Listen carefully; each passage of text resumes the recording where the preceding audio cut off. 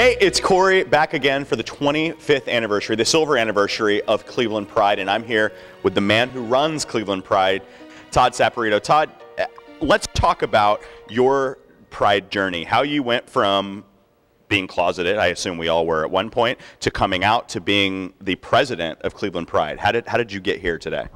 Well, I guess I started out um, married at, with a one-year-old daughter, and uh, my uh, uh, ex-wife and I separated so that I could basically become who I thought I really was. And uh, during that time frame, I actually was really focused on my career, energy, and those things. And while I began getting into the gay lifestyle, it was not really a, a prominent part of my life. And uh, it wasn't until probably 2005 when I had uh, left corporate America and uh, kind of fumbled into organizing gay volleyball in Cleveland. And when I uh, decided to do that, the reason why I did that was because I saw that it was an organization that brought like-minded people together under a common cause, teaching volleyball, but that we could take that group and actually do community service. And it was like an experiment. It was very organic, and the rules were being made up as we went. Uh, we, able, we were able to accomplish in the two and a half years that the Volleyball League uh, came together fundraisers and uh, feeding people and you know, getting monies for HIV medicines and things like that. So I kind of got the bug. I wasn't an activist, and even through the Volleyball League, I really wasn't out there. And then I had an opportunity to get involved with Pride. And I want to say that the uh, attendee level was probably half of what it is today. And I had to really start to understand what are the diverse people that are actually coming to the actual festival itself and what's the purpose of it. So I, I kind of learned what Pride was as I was trying to understand how to run it. Uh, the uh, interesting nature of uh, what brought me then to uh, staying with Pride and working with it was that uh, you saw individuals for the very first time come into a campus and really realized that they weren't by themselves.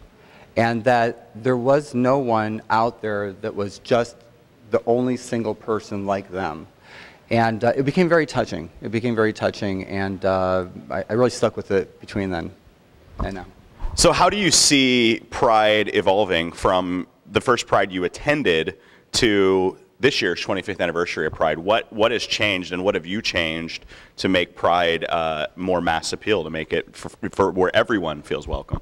Well, there's a there's a team of people that are involved each year. Um, there's a board of directors, and then we structured the organization to bring in uh, younger community people to kind of help them help us learn how to manage and program the event. And the hope through that was to then bring more diversity to the ideas of what would happen at Pride.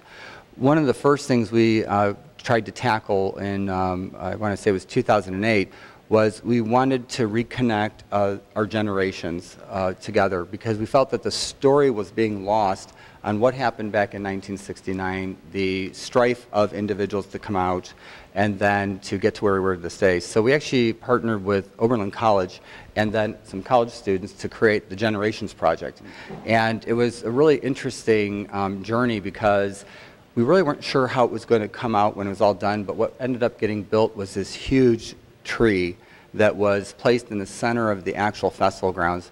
And the college students uh, walked around the campus and told everybody to write something about something personal for them about pride or something that led up to their coming out. There was probably over 4,000 leaves of all sorts of different colors on this um, tree by the time it was done. It took us probably three weeks to actually take all of those um, leaves down and start to document what was said. And I remember there was a group of probably 10 of us, young, young folks and the people who were the directors, uh, going through those, all of us around the table in tears. Uh, people were saying goodbye to people that they lost, people that had died, uh, journeys that they had taken, families that they had lost, been ostracized, uh, people had become something different. And it was probably at that moment when we realized that we really could help with some community work actually affect the community through Pride. It didn't have to just be kind of like an annual party and a recognition. Yeah, it needs to be a little bit of both. So between when you started with Cleveland Pride and now, looking at the community as a whole, how has Pride helped to, and how is Pride helping to affect the, the gay community at large?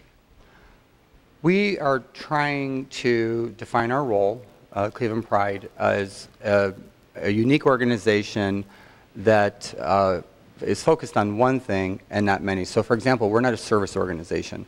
We don't uh, uh do things like our AIDS task force or our center or our uh, commerce.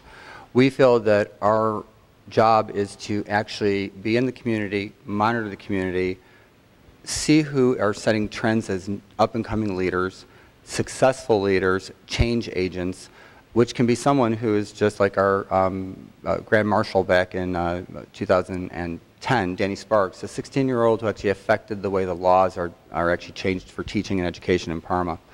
So um, uh, we believe that uh, what we can do and what we have done is to get people involved who will stay involved with Pride or go on to actually change things in the community.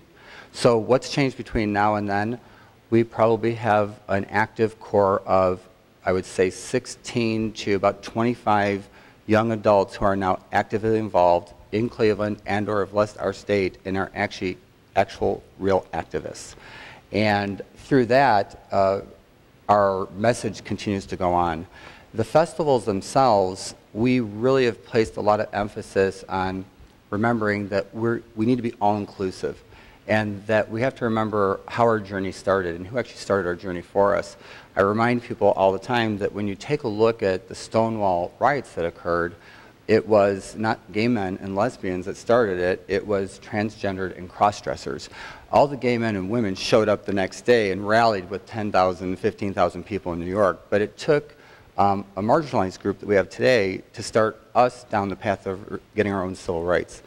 So what we think we've done so far with Cleveland Pride today is to actually continue to bring back into the fold and actually recognize those people who started the cause for us. Our continued goal is to continue to find people to work with us who are younger, show them that they can be brave, they can produce an event that actually has meaning to it, so that people can actually see how pride helps them identify with themselves and with our community.